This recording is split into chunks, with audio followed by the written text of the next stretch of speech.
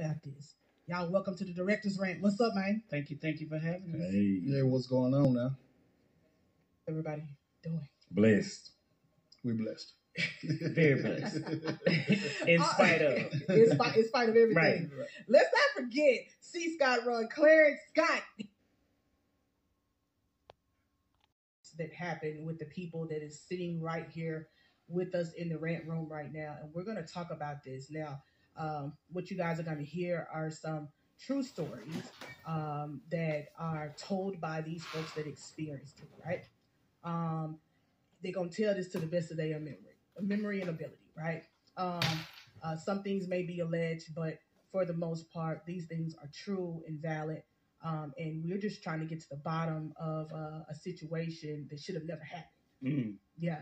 Uh, before we just not just jump, jump, jump straight into it, but just go around, guys. Let's start with you, Toy, and just talk about who you are, where you're from, um, and why are you here today? I am Toy Danielle from West Point, Mississippi. Been in Memphis for 20 years this year. So Okay. I'm a singer, painter, comedic host, and now an actor. So I'm here because I won an award. Or so I thought. And the, the and this is from the Mid South Black Film, Film Festival. Festival. Okay, all right. Come on, That I Bridget. never heard of. That you never heard of before now. Yeah. all right, Bridget, what we got, brother? Hey, what's going on, everybody? Uh, my name is Frederick Hurt. Um, I'm a native of Memphis, uh, born and bred, and uh, I'm also uh, an actor.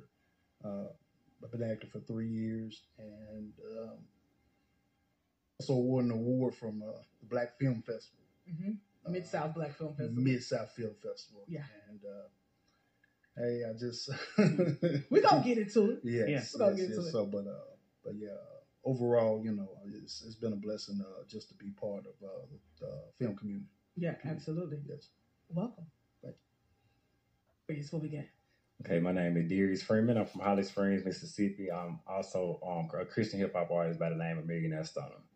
Okay, so um, before we get into it, the reason why I'm here today is Mr. William reached out to me and told me, "Hey, I want to acknowledge all of your accomplishments so far that you've done in the Christian industry world.